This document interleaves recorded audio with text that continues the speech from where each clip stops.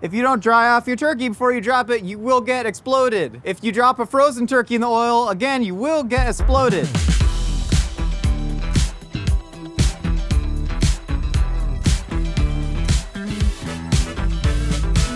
Hey, welcome back to Mythical Kitchen where dreams become food. So today we're making a mac and cheese stuffed Nashville hot turkey, but we'll get to that in a minute. Today's video is sponsored by Noom. I know if you've been watching Mythical Kitchen for a while, you've probably heard me talk about my fitness journey, and you've probably heard me talk about my struggles with diet-related health issues growing up. But what you haven't heard me talk about is how difficult it can be to balance my love of the awesome food we make here with my overall mental and physical health. And frankly, anyone who's tried to find that balance with their nutrition or exercise habits knows it can be difficult. And that's why I love Noom, because you don't have to go on that difficult journey alone. Noom knows you can't have a sound body without a sound mind, and I love that they take a holistic approach to wellness. Using proven psychology and cognitive behavioral therapy techniques, Noom aims to arm you with the wisdom and guidance you need to practice making more thoughtful choices every day in order to make more sustainable changes. This isn't about restricting what you eat, because my god, you know I would never want to do that. This is about learning to live a more balanced life by improving your relationship with food and your body. Now, my favorite part about Noom is that it allows you to set your own goals, but also makes sure you understand the reason behind those goals. Like, sure, I can say I want to flex mostly naked in front of a crowd, and I do, but Noom made me realize that the real reason is that I just want to be comfortable with myself. Noom also has really insightful lessons that you get rewarded for completing because it understands that learning, not dieting, is what leads to real lasting change. There's no reason to wait. Click the link in the description to get a customized plan from Noom or visit noom.com slash mythical so you can start meeting your nutrition and exercise goals, whatever they may be. And thanks again to Noom for sponsoring that portion of today's episode. All right, so last Thanksgiving, we made the iconic orange chicken style turkey. Nicole told me to call that turkey iconic. We also found out in Myth Munchers that both basting and brining make the best turkey, but today, today we're gonna try and make the tastiest turkey that will also alienate all your family members with IBS because we're doing a ghost chili Nashville style hot turkey. This is gonna be stupid delicious. We're gonna stuff its cavity with mac and cheese, and you know how much I love me a cavity stuffed with mac and cheese. We've broken the recipe down into three distinct steps. I've never said that before in two years. We've broken the recipe down into three distinct steps separated by their parts. You can find them right there. We also got a full written recipe down in the description. Let's get cooking. We've got a large dead bird here. We also have a large pot and there's a bunch of ice. Now I'm gonna try and fit this puzzle together to see how it all works. no, so in the Myth Munchers episode of Turkey Cookery, we found out that wet brining the turkey was the best way to go. A lot of people dry brine. I'm a big fan of wet brine, so we're gonna do that today. I'm gonna drop a bunch of salt into water. Salt is like the main thing in brine that actually makes things taste good. I don't know if adding aromatics to a brine actually makes the meat taste any better. I'm not gonna BS you. That said, if there's one time to actually add random extraneous stuff to a brine to try and go over the top, it's Thanksgiving. How often are you really brining a whole turkey? Turkey. Might as well add a bunch of sugar and California bay leaves and rosemary and thyme in there. Try and pull out all the stops to impress your relatives that you may or may not love. Family dynamics can be complicated, especially on Thanksgiving. You know, I'm not gonna act like I know your situation. I'm gonna add a bunch of peppercorns in there too. And then we got some chile de árbol. We figure, you know, we're, we're doing a spicy Nashville hot turkey. Why not get some spice in the brine? We also got a whole head of garlic. I'm just gonna go ahead and smash all that. Kind of Humlet. Oh, I lost all of the garlic. So we're adding that in there, and then we're just gonna heat this up enough for all that salt and sugar to completely dissolve.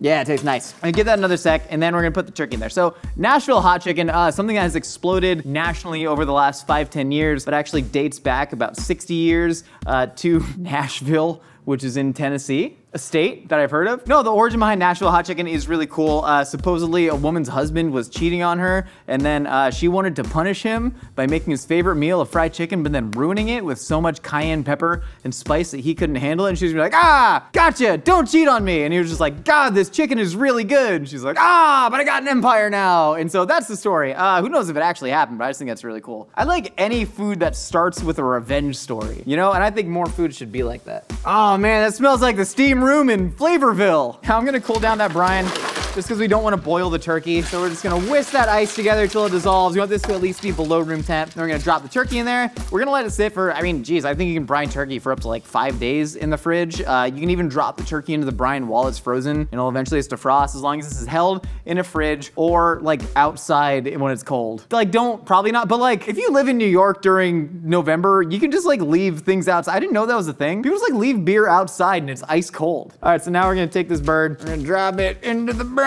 There we go. Yeah, you hear the water sloshing around in its cavity. So we're gonna cover this, we're gonna get in the fridge, we're gonna let it sit for about two days, and uh, then we're gonna deep fry it. Welcome to turkey frying safety tips with Josh, but outside. If you don't dry off your turkey before you drop it, you will get exploded. If you drop a frozen turkey in the oil, again, you will get exploded. If you don't turn off the flame before you drop your turkey in, you will exploded all over the place. If you go past the max fill line on the turkey fryer, you will be exploded. And no one wants to be exploded on Thanksgiving. That makes grandma very sad, and she's had a hard life. We shut off the flame right here. We're gonna drop this in and then crank it back up to get to 350. Also get a bucket fryer. These are way better than the ones that hook into the turkey. Now we just go gently, go gently into that good night sweet turkey. Beautiful. And now fire. How do I work the buttons? Also, wear transition lenses because it, it, it helps not get UV rays into your eyeballs. You will get exploded if you do. Now we're gonna deep fry it. Get yourself a temperature checker so you can check the temperatures or you will be exploded all over the place. All right, now you just gotta stand here. Don't ever, if you leave your turkey unattended, you know what else, what's gonna happen? Exploded. Boom, one shot, explode. Well, no, we gotta let this fry uh, about 40 minutes. Keep tabs on your oil, make sure it never gets above 375. You're looking for an internal temp on your turkey of about 145, and then that's gonna raise 15 degrees to 160 to safely eating it. Or you will explode it. If you eat undercooked turkey, you'll explode it in a different way. I've been standing here for 35 minutes in my natural posture. We have shut the flame off and the turkey reads 145 degrees internally. We have not yet been exploded. And so now I shall remove the turkey with the flame off so as to keep that streak going. Gently. Oh, look at her. Golden brown and delicious. Hold on, hold on. Gently. Gently and yeah. Okay. All right. So we pulled the turkey. It's golden brown. It's cooked. We're gonna let it rest for about 10 minutes, and now we're gonna go back inside the kitchen. We're gonna make that Nashville hot spice that we're gonna dust all over that turkey, and then we gotta stuff its hole with mac and cheese. It's like I'm gonna stuff my hole with mac and cheese this Thanksgiving. High five. I found out that you can make mac and cheese or you can just make mac and cheese, and this is still pretty good. That's a fun Thanksgiving hack. You just put all this on your table and then you just eat it cold. We're making the mac and cheese to stuff into the turkey. Uh, mac and cheese should be on all your Thanksgiving tables. It's one of the single best additions to Thanksgiving. We're gonna try and pull out all the stops and make just like the best mac and cheese we've ever made. I think that's what our goal is right now. We don't ever set out to make a bad mac and cheese per se, but this time I think we're really gunning for it. There's a couple ways that we're doing that. So instead of just making a classic roux with like milk and stuff in it, we're gonna be adding heavy cream and evaporated milk. Evaporated milk is quite literally more milk per milk. They've evaporated the water out of it, so you're just getting all that milk. That's why it's so yellow. That's exciting. And then also we're gonna be adding some pasteurized processed American cheese product in there. You're gonna save one of those cubes for snacking later. That's gonna give it a nice velvetiness to it. But the secret to this mac and cheese right here is this little spice blend powder. So we've added ground mustard seed, onion powder, garlic powder, cayenne pepper, and then the secret to this is chicken bouillon. Start adding powdered chicken bouillon to your mac and cheese. It just adds an extra little umami punch in there and it makes it friggin' delicious. Also, baked mac and cheese over stovetop. You agree? No. Golly. Sorry, I cut you off by yelling, welcome to the podcast. And then we're gonna top this with more cheese, and then we're gonna bake it. But right now we gotta get a roux going. We got the butter going in there. We're gonna add flour to it, and then we're just gonna give that a nice stir. We're going for a nice little blonde roux right here. You know what they say, blonde roux have more fun and then we're gonna talk about cheese. Now, I know what you're wondering, Josh, what is cheese? I don't know. I, like, I really don't. I understand the idea of it. You like add stuff to milk, like an enzyme called rennet that's found in the stomachs of baby calves. You put acid in it, you, you mash at it a bit, and then it's this? Like, I know what it is in theory. Like, I know how, like, a cell phone works in theory, but uh, it couldn't, I couldn't make it happen. All right, I passed enough time. There's roux cooked. Great. Roux is nice and blonde, so now we're gonna add all of our milks to it. Uh, no particular order. We're going heavy cream and then milk. You can add it gradually, but like it really does not matter. You whisk it all and it comes together. The, the same amount of particles are in there that are always gonna be in there. It's a zero sum game, if you will. We're gonna whisk this together. We're gonna wait for that to sort of come together. We're gonna add all that. Mmm. Mmm. I just want to put this in water and drink it on a cold day. We're gonna add all the spice in there. God, this is gonna be good. A little bit of cayenne in there, just giving it a nice heat. Oh, I also I know what you said. You said you're gonna stuff this into a turkey, but you didn't stuff it before you fry it. You know why you don't do that? Because you will get Exploded! That's right. No entrails on the ground this year, Grandma. What we're gonna do, we're just gonna dust up that turkey in the Nashville hot spice, get it sort of submerged in that delightfully red oil, and then we're just gonna um, retroactively stuff the holes with mac and cheese. All right, we're gonna add that cheddar. Oh no, always add your pasteurized processed American cheese product first. Kind of, kind of finger it out there. There we go. That's good, that's gonna give you a nice base of all those emulsifiers in there. That, uh, what's it called? Sodium, sodium citrate. Sodium citrate, that's the chemical in it that makes it melt all nice. And uh, we just gotta wait a sec. We're, we're using the bad burner. Every stove has a good burner and is generally front left, not for us. Ours is middle, but we're not using that right now, so it's not gonna cook. I don't know. I don't know how to tell you that this is a cooking show, but our burner don't work. But it is, so I'm gonna sit here for a sec. What does evaporated milk taste like? That tastes like so much milk. It's the first time I fried a turkey. It was in college and it was on a balcony that was overlooking about nine other balconies. It was in kind of like a large building. And I was like, I think I can do this discreetly without anybody seeing. But for, for, whatever reason, there was like a party going on at a balcony next door. And they started yelling at me. They're like, what are you doing? And I was like, nothing. I'm just, you know, I'm, I'm doing a little cooking. And they're like, are you deep frying a turkey on a balcony and it is like a tiny we're talking like a type of balcony that you, like, you can put a stool or a turkey fryer and that's it and i was like don't worry about me and then i started yelling and so other people came out there was just a bunch of people like watching me deep fry turkey people like isn't that dangerous and i was like no it's fine i'm a professional and then someone looked it up on their phone they were like that causes 400 million dollars property damage every year and i was like worry about yourself we're all renters. We're fine. Not our property. It's gonna get to anyways. Nothing actually happened. It all turned out pretty great. All right, cheese starting to melt. Now more cheese. We're adding Gruyere and Monterey Jack. Monterey Jack is another great melting cheese, and Gruyere is a good eating cheese. The strategy for mac and cheese: you want equal parts good melting cheeses like American and Monterey Jack, then good eating cheeses like sharp cheddar and Gruyere, because that way you get that beautiful silken texture, but then enough delicious flavor to really carry it through. And also, again, we're gonna bake this, so you don't gotta worry about getting this like too melted. We just want it to get nice and copacetic. What we're gonna do is we're gonna see if all this macaroni fits into this pot. No, no, there's a lot of debate. You should you should know about this. I want to bring you into our world. Nicole insisted that all of this macaroni and all of this cheese sauce is gonna fit into this pot. And then everybody that saw it, we're like, this is already big. We're like, no, there's no way. And then Nicole's like, no, it melts. And now we're about to see. Well, mm, mm, well like it, yeah. I guess. How do you stir it? You just gotta prod at it. So what we're gonna do is we're just gonna gently prod this macaroni until it all gets submerged. Now maybe I can kind of yeah, yeah, yeah. it's- Okay. No, no, no, it's working. I understand now. You gotta just stir from the inside out, and then the, the levels are dropping. Yeah, Nicole, it worked. Yeah, I know. I, I owe you an apology and $3. Anytime someone can beat me in a debate, I give them $3. Debate me, you won't, coward. All right, so uh, uh, I'm gonna stir this mac and cheese. Do you notice that when I don't know what to say, I just say what I'm going to do in future tense as I'm doing it? Of course I'm going to stir this mac and cheese. I'm doing it currently. Now we're gonna take the macaronis and we're gonna dump it into a pot because we're gonna bake it off. Shoot. Crap. Are you, can the camera see me? Spoon all that out. Eh. And I, there's so many bowls. Who would do all these dishes? So what I'm gonna do is I'm just gonna take some, some what's this called? Cheese? We're not gonna try and take this too far. Really just sort of trying to seize this up and melt the cheese. Seize the cheese, as Julius Caesar or whomever said. Who said carpe diem? Horace? Horace. Horace Gump said carpe diem, seize the day. Life is like a box of macaroni. You always know what you're gonna get. All right, I'll put this in the oven to melt that there cheese. Bye. All right, we have our turkey that has been fried. It's been rested. It's still nice and warm and supple. We're gonna figure out how to like coat this entire thing in spiced up grease, which is the cornerstone of Nashville hot chicken. It gets dunked in the grease. We're taking a whole lot of cayenne pepper here, and we're adding that with some smoked ghost chili. Cause like, again, why not? You're trying to burn Nana's I don't want to talk about your Nana's whole. You, Nana's had a rough life. She can handle the spice. And then we're adding some smoked Hungarian hot paprika, and then we're adding some chipotle chili powder in there. And then all Nashville hot spice rubs are different. Uh, and I just like adding flavors that I enjoy. And then I put it in my mouth. I guess that's called cooking, right? Combining things you like, then putting it in this hole. Uh, and then we're adding some garlic powder and brown sugar. That little bit of brown sugar, that to me is what like really makes Nashville hot chicken. That little bit of sweet countering all of that spice. And so we're gonna take this and mix it up. And then now what we're gonna do is we've taken some of that same turkey fry oil that should be nice and perfumed with turkey. And we're just gonna add the hot oil into the spice. So this is gonna do a couple things. This is gonna, one, make it so you got a big old vat of grease that you can put on your turkey. And then, well, that was real hot, eh?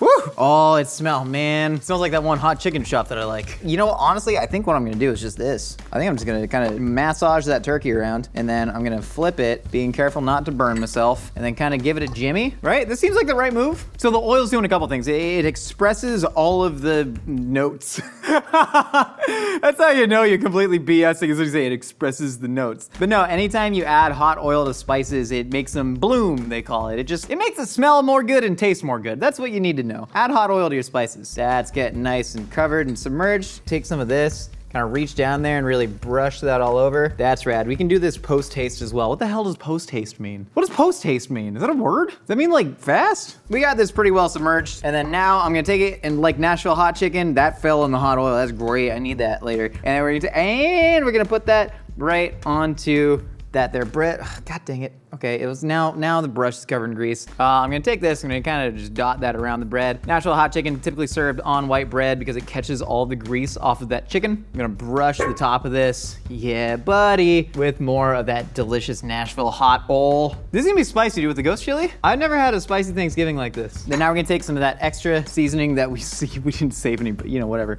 And we're just gonna dust that on top of the bird all over. Oh my gosh. I forgot I said I'd stuff its holes with stuff. Dang it, now we gotta do it. All right, I got macaroni in there. Give me a sec, give me a sec. Yeah, oh, yeah, the transition lenses is steaming. How are we gonna do this? No, okay, well, first off, just expose the hole to yourself. There's no point to doing this, I, I have to say. Like, the what? We're just gonna put mac and cheese into the turkey's hole so people gotta reach back into the turkey's hole to take the mac and cheese out of the turkey hole? Doesn't make any sense, but why I think it's hilarious. That's really funny. Eating mac and cheese out of the cavity of a once living animal, come on. That's comedy, folks. Crack it like a creme brulee.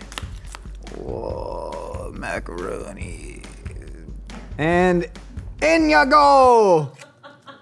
Yeah, that's nice. It's nice, really. Cram it, because when you cram it in there, then it's gonna get perfumed by the turkey. Yep, grosser than I thought it would be, but not nearly as gross as it could be. Oh, wait. Oh, just the mac and cheese with the Nashville hot? Yes! All right. All right, now, um, ow, I burned myself. Nashville hot chicken is often served with pickles. So pickles, pickles, pickles, pickles, pickles, pickles, and uh, coleslaw. We're just gonna kind of uh, adorn, adorn with some slaw. If you want the recipe for the slaw, you can call Nicole directly. That's at three, that's 310-213. I didn't have a plan for adorning this with slaw but this is what I'm doing. It feels right. Yeah, that's it. That's all. Okay, hold on a little bit. Not a little bit more grease. I got some slaw in the grease. Yeah, one more brush. Does this look like it would? Does this look done? I'm I'm willing to call this Thanksgiving. I'm gonna say, you know what I'm thankful for? That, ooh, that this exists. Well, here we have it. Here's here, uh, Megan. I'm gonna do that like rotating shot that they do in food shows. Here we go. Here we have the Nashville hot chicken stuffed with macaronis and adorned heavily with coleslaw and pickles, pickles, pickles, pickles, pickles, pickles, pickles. It's too beautiful. I don't want to cut into it. It's like I really do. This looks great. I'm excited. I'm excited. I'm excited. So we're just gonna butcher up. and You're just gonna splay off that leg there. Oh, all the Nashville hot grease got down into the crevasses. I'm gonna try and grab a little white meat. What I like to do, a lot of people carve the bird, but you know, slicing it off, but I take all the skin for myself off the breast. And then I just leave people naked, dry turkey meat. You gotta brace it with your hips. Slice that off gorgeous and juicy. That is a well-cooked bird. And now I'm gonna I'm gonna go deep into the cavity to grab my mac and cheese. We stuffed it kind of as a joke, but too, I really love mac and cheese. The turkey cavity keeps the macaroni really warm, and so that's pretty cool. Grab some bread, and um, now you're just gonna sit here and watch me as I eat this whole turkey. And take a bite. We might have did something. We might have did something because I don't know that I want any turkey that hasn't been Nashville hotified. Deep frying birds is really delicious, but you could do this in an oven too. Just like put the turkey in there, brine it, baste it, and then just cover that in Nashville hot spice. This is freaking incredible. I mean, this is actually the best turkey we've ever had. The orange turkey last year, like that was fun and all, but that was really difficult to do. Uh, this is easy and freaking delicious. I think you can easily do it. Serve it on a bunch of white bread. Take a bite. I like to make a little like sandwich, like a little taco. I want to high five all you. This rules. But Thanksgiving isn't Thanksgiving without without your friend, and so that's why we're gonna go ahead. We're gonna go ahead and feed our friends. Michaela, what are you doing? Work, I guess. With the closed laptop? You're crazy. Do you want to eat Nashville hot turkey instead? I made it. Oh, yay, why not? Yeah. Okay. Uh, do you have any food allergies? Not that I know. of. Lactose intolerance. No. Turkey intolerance. No. General macaroni uh, lo- loathingness. Not loathing, but I am picky about macaroni, so I hope it's Ooh, ooh. Do you want to try the macaroni first then? Let's do it. Yeah. Okay, yeah. I'm pretty. I'm pretty proud of this. Got to get under there. All right. Okay. Ah. I don't know why I made the ah sound for you. Hmm. Hmm. Judge me harshly. I deserve it. Wait, hold on. But you can formulate that. But first, grab some of this With Nashville hot turkey? turkey Okay. because it's meant to go together. Mm. Mm-hmm. Mm-hmm. It works, It does. right? Would you serve this at your own Thanksgiving? Would you make this for your friends and/or family? Definitely. Right? For sure. It's actually really good. This, I love the kick to it. Mm-hmm. Yeah, that's that's delicious. Man, this is the best Friendsgiving ever. yeah, Thank you so much. Michaela. You're welcome. Thank you so much for stopping by the Mythical Kitchen. We got new episodes for you every week. We got new episodes of our podcast, A Hot Dog is a Sandwich, every Wednesday, wherever you get your podcasts. I'm like too full to breathe. Hit us up on Instagram at Mythical Kitchen with pictures of your mythical dishes. See y'all next time. Have a good Thanksgiving. Michaela, have a good Thanksgiving. Happy Thanksgiving. Happy Thanksgiving, Michaela. What are you thankful for? Everything. That's a terrible answer. No, come on, Um, this is practice for your real I'm, Thanksgiving. okay, I'm thankful for uh money. Yeah. the mythical trucker hat is literally the only hat I wear, and I swear I'm not just saying that because this is an ad. So go get yours now at mythical.com.